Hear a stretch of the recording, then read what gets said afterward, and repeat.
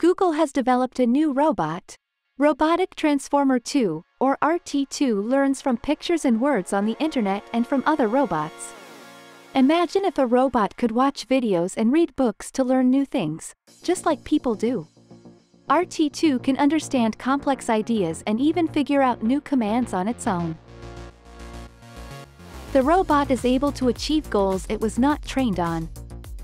It's like taking what a computer is really good at, such as recognizing pictures and understanding text, and using that knowledge to help a robot figure out what to do in different situations. This new robot is different because it blends learning from the web with learning from real-world tasks, which helps it do things that other robots might not be able to do. The Robotic Transformer 2, or RT2, is a new kind of robot that can learn from stuff it finds on the internet and from watching other robots. Imagine a robot that can look at pictures, read words, and understand them like a person can.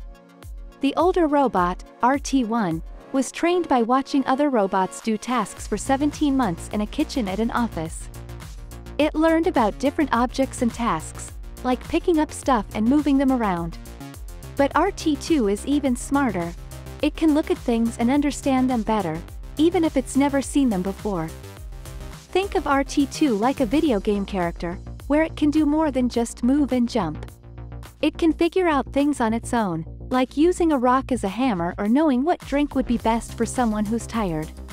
The scientists taught it to think step by step and solve problems. They also made RT2 in a way that it could control a real robot.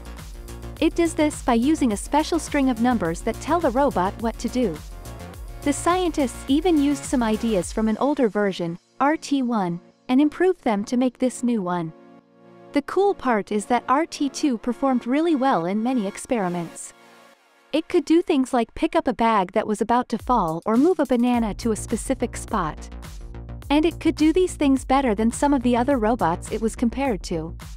The people who made RT2 also tested it in new places and situations it had never seen before. And guess what?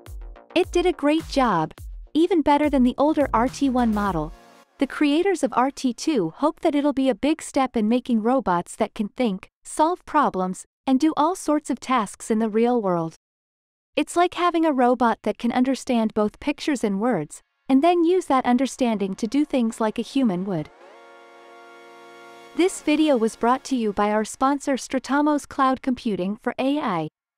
Get remote use of a GPU at a bargain basement rate by the hour on Stratamos.